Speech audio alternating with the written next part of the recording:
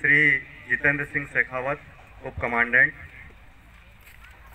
बाहर से पधारे हमारे अतिथिगण, अधीनस्थ अधिकारीगण, जवान साथियों एवं फैमिली मेंबर्स व प्यारे बच्चों। मैं आज के इस आयोजन में आप सभी का स्वागत व अभिनंदन करता हूँ व साथ ही साथ छियालीसवीं वाहिनी के स्थापना दिवस की आप आप सभी को हार्दिक शुभकामनाएँ।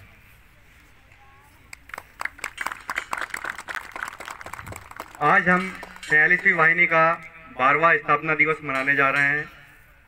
वाहिनी का इतिहास कुछ इस प्रकार रहा है।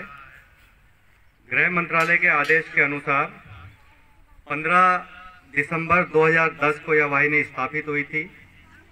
सबसे पहले बीरपुर जिला सुपौल राज्य बिहार में इसकी स्थापना हुई वह की लोकेशन प्लान यानी इसका प्रमुख स्थान योजना के अनुसार इसकी की लोकेशन प्लान फिक्स हुआ था रैंक को जो कि जिला पूर्वी सिक्किम, राज्य सिक्किम में पड़ता है। इसके बाद यूनिट ने सीआरपीएफ श्रीनगर 127वीं वाहिनी से अपने कर्तव्यों का प्रभार संभाला। श्रीनगर इकाई में कार्यकाल की अवधि के दौरान escort duty law and order duty Shri Amarnath ji यात्रा ड्यूटी, महत्वपूर्ण प्रतिष्ठानों की सुरक्षा, वीआईपी निवास ड्यूटी आदि का प्रभावी ढंग से इस वाहिनी ने निर्वहन किया। श्रीनगर में अपना कार्यकाल पूरा करने के बाद यूनिट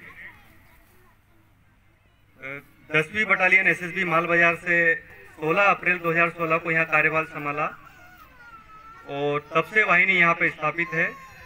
जिसमें पश्चिम बंगाल के तीन जिलों जब चार्ज लिया था पश्चिम बंगाल के तीन जिलों एक पूर्वी सिक्किम दार्जिलिंग और जलपाईगुड़ी में भारत भूटान सीमा पर काम करना शुरू किया।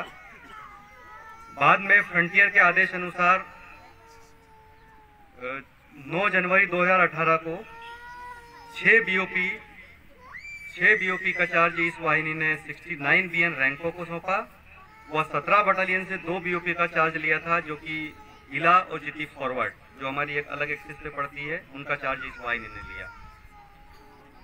वर्तमान में इस वाहिनी की 14 बीओपियाँ हैं, जैसा आप सभी भली भांति जानते हैं, जिसमें 11 कलिंगपोंग ज़िले में व तीन जलपाईगुड़ी ज़िले में है। इसके अलावा इस दौरान कई ड्यूटियाँ की, जैसे जम्मू एंड कश्मीर में श्री अमरनाथ जी यात्रा, आर्टिकल 370 एप्रोगेशन के दौरान जो ड्यूटियाँ की, वो इसके अलावा इलेक्शन ड्यूटी व अदर आईएएस ड्यूटी जो भी हमें हायर हेडक्वार्टर या बल मुखिया ने, ने बताई है वो उसका निर्वहन इस वाहिनी ने बहुत ही अच्छे से किया। इसके अलावा कुछ उपलब्धियाँ सीजर और ऑपरेशंस में हैं व एडम ड्यूटी में भी इस वाहिनी का अच्छा योगदान रहा।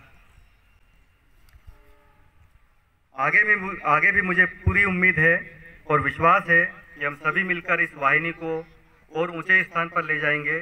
और वाहिनी का नाम रोशन करेंगे। पुनः आप सभी को वाहिनी स्थापना दिवस की हार्दिक शुभकामनाएँ। जय हिंद। धन्यवाद, सर। इसके बाद बच्चों का कंपटीशन शुरू होगा। सबसे पहले जलेबी रेस पाँच साल तक के बच्चे